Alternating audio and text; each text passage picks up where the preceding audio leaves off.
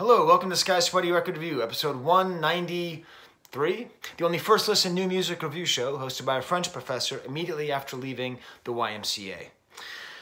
So, uh, I'm going to be reviewing an album called First Timer by Pizza Girl. Now, Pizza Girl is neither a pizza nor a girl. Um, it's a young man uh, from Liverpool, England. And it's interesting because the last album I reviewed, Hypervigilant by Stephen A. Clark, even though that was by an African American dude from Miami, these are very similar records. I could have done one of those head to head battles that I do that nobody likes or watches, um, but I decided to split them up. But in both cases, we have very personal records performed by young men who are recording everything all by themselves. But this is really quite different. This isn't very much like Stephen A. Clark, uh, which was much more sort of a focused, uh, tortured internal dialogue, whereas this, well, we'll get into what this is. Um, while I went to the gym with my wife today, and uh, I was sort of trying to figure out what I was going to review, either this or Kim Gordon, which I'll review tomorrow. And uh, and I, I, was saying that I liked it, and that I was surprised that I liked it. And she said that she was surprised, and she was surprised that I was surprised. Like, what is there not to like about it? And what I realized is that before I did this show, um, I would often hear music and just sort of say, yeah, I know what that is. I, I get it. So I would have heard this. I would have heard a song like the opening track, Ball's Gonna Keep On Rolling, and I would have dismissed it. So I'll play it for you, and I'll let you know exactly how I would have dismissed it before I started taking new music more seriously. Eh, all right, I get it. 80s.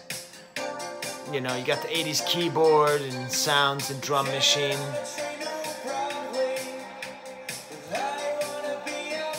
All right, I get it. He's like singing kind of like a Halls and Oates thing. All right, that's good. I'm not going to review it. I'm not going to listen to it. That's what I would have said. But I kept listening.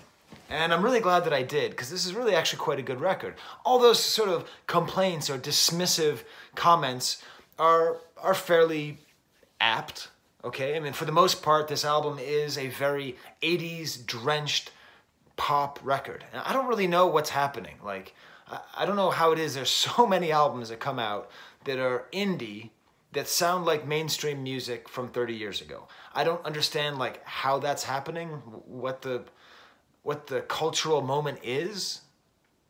You know, it it'd be like if if in the 80s there was a lot of music that if like the Stray Cats, right?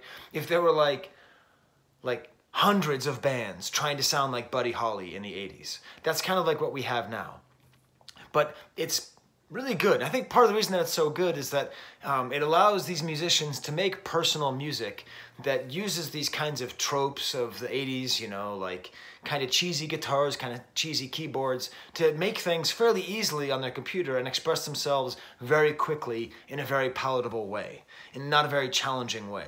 So this opening track is like that. It's sort of like a story song. Oh, I hit the plant sorry, plant. Um, uh, it's kind of like a story song about someone becoming famous, sort of like a existential crisis light. Like it's about this person who's sort of going through life and figuring out who they are and, and what it means to be successful. Um, but that was interesting. And then the next track comes Day Trip. And this is another one of these light, kind of catchy songs. I'm going to play it too, just because I feel like it. So just get a sense again.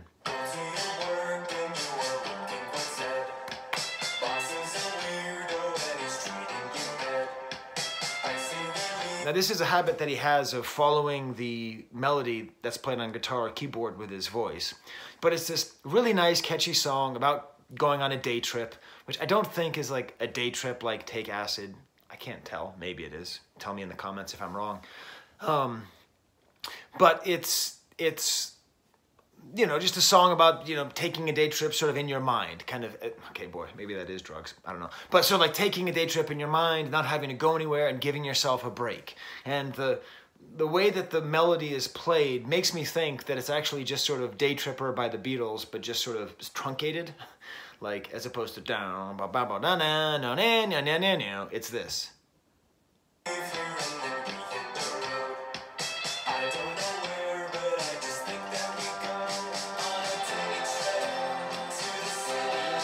It's a really catchy, catchy album. Lots of great songs like that.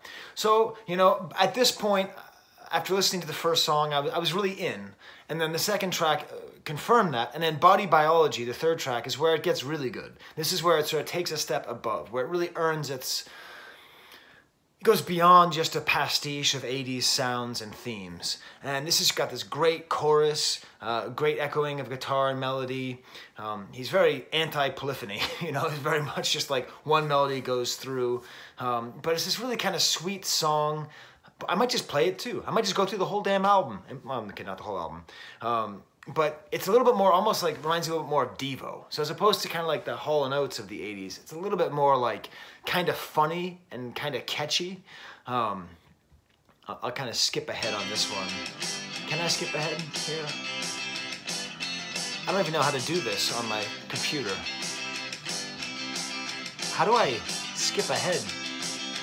Why am I so old? What's going on here? Okay, well, doesn't matter. Point is, uh, this is where it develops a lot more. And that follows to the next track, Dennis, which is very nicely put together. It appears to be a song about being jealous of somebody dating an, a much older guy. He's really old. He's 43. I'm 42, so that, that dude must be really old. It's at this point on the record where I realized I don't I don't know if he's singing about, you know, about like about men or, or women. Um, this is very much one of these kind of post-sexuality records. Part of what drew me to it was the cover, uh, which I just find to be kind of funny and interesting. Because uh, it's this guy, you know, who's wearing makeup and then he's got this little two-pound weight, which is very much in the style of the 80s. Um, and I don't know. I don't. I really don't think it matters his sexuality or who he's singing about. Um, but something about that cover I just found funny. Maybe just those two pound weights. I, I just, I so associate that with growing up in the 80s and seeing like, you know, LA gear commercials and, you know, people working out and, and, and so there you go. So it doesn't matter. What does matter is that this is a good song about a young man being jealous of an old man, which I remember happening and I think it's really well written and it's very, it's interesting because I can't tell if this guy ever leaves his bedroom like, I can't tell if this guy lives in Liverpool and just writes everything in his bedroom and imagines. You know, the first track he talks about going to Broadway. This one he talks about being in Venice, you know, California. Or if he's some guy that moved to the States and is trying to make it and going to Coffee Bean and, and writing his songs while thinking about these things. It's really hard to tell. It's a very imaginative record, actually, because it's romantic. That's what this album is. It's romantic. Not in the sense of like, you know, oh, or anything like that. It's romantic. Sorry, I'm just figuring this out. Seven minutes in, I finally figured out how I'm going to review this record. It's okay. Um, you know, romantic in the sense of like imagining a different life and imagining a whole series of things that might happen that, that are filled with sort of drama and adventure and excitement from somebody who potentially doesn't live any of it, just kind of sits alone and records this music all by himself. Um, so you have that looking at it now, you know, the, the opening track, he has this romantic vision uh, of, of, uh, of being a movie star. You know, Day Trip, it's the, the romantic daydreams of getting to go to America and getting to go to the beach when you're actually just at your job. Um, and then a track like Library, which is one of the more heartfelt tracks, which is like falling in love with somebody at the library, which is sort of like one of my recurring romantic fantasies, right? That you're just gonna like walk into the library and see somebody and and I'm smart and you're smart and let's go escape the world together and, and make sweet library love. I, I don't know, but this is definitely a fantasy that I've had in the past. And this kind of song is pretty much just a straight recounting of that idea. You know, it's not like turning it on its head. I don't think he's trying to subvert romantic expectations. He's just making a delightfully romantic album. Um, it takes a little bit of a dark turn with the track This Party Sucks, uh, which fits into the great Northern English tradition of songs about parties not being fun, kind of the How Soon Is Now. Uh, a little bit, a little bit of a darker song, um, and because you know, it keeps on saying, you know, I'm not enough. So this party sucks, I'm not enough. So there are little, in the middle of this sort of romantic 80s, breezy, pastoral, not pastoral, but, but breezy album, there are these little dark moments that pop up and they make it quite nice. Like this, like saying I'm never enough. And then my favorite track on the record, uh, Cut and Paste. Now this is my favorite track partly because it's so different from the rest. It immediately follows Ugly, which is the point where I'm like, all right, I'm done. I'm done with this. I'm done with this guy. This is cool. I've liked it, but uh, you need to do something else. I can't listen to 40 minutes of all the same kind of stuff. But then cut and paste at the end kind of opens up a window onto a different possibility for what Pizza Girl might be able to do. I'm sorry, I just have to say it that way. It's such a good name, Pizza Girl. Um, so cut and paste is great because he allows some distortion in. His voice gets kind of warped, has more of a vapor wavy sound to it. Um, you know, all of this, all this whole album has so many like keyboard sounds and like the guitar sounds are usually very consciously 80s sounding guitar sort of like if you know what i mean like a stratocaster with no distortion you know just very kind of tight played like on library you know. He throws in all these 80s tropes and they all work but on cut and paste he moves a little bit more modern. Um, he has some like arpeggiated keyboards going on and it's definitely the most emotionally harrowing um, you know, I'm just going to play you a little bit of it so you, you, can see the, the evolution that I'm talking about. But I've, I've got to figure out a way to cut to go forward. Okay, good. I feel like Michael Bluth.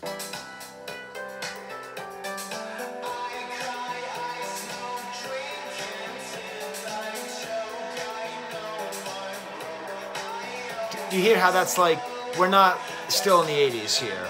He's kind of moved us out into a more interesting place. And actually, I would even actually say that this is an emo song because the lyrics are very, very emo. It's all about like his family like wanting to cut him down, his his friends wanting to cut him down.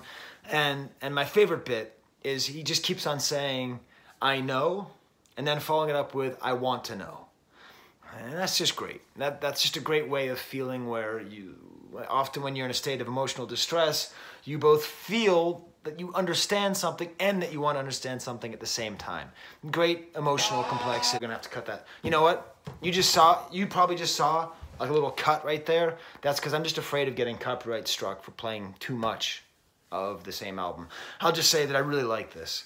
Um, my daughter's been talking about uh, putting makeup on me for quite a bit. She's really into the idea of, of putting, I think, mascara or eyeliner. So you know, Pizza Girl showing me that, you know, it's a good look.